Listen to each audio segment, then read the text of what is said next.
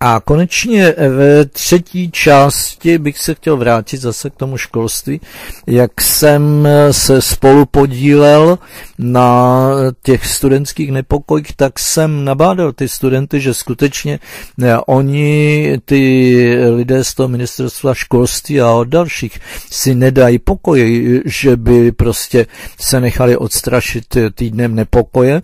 No a máme to tady, že dokonce teda došlo k tomu, že ten slavný minister Dobeš přebyl akreditační komisi a řekl, že akreditační komise je tady úplně na pendrek, že on tady gubernuje a že prostě budou věci tak, jak budou. Takže vidíte, že skutečně ty pravičáci za chodu tady mění pravidla hry jenom proto, aby ty cinknuté karty dali těm druhým a aby na těmi druhými pak vyhrávali. Čili chtěl bych říct vám všem, musíte musíte eh, opravdu jako národ se vzchopit.